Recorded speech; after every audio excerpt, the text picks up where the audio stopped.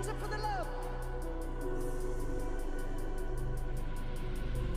If you love the Queen, say yeah. If you love the Queen, say yeah. If you love Jehnny Beth,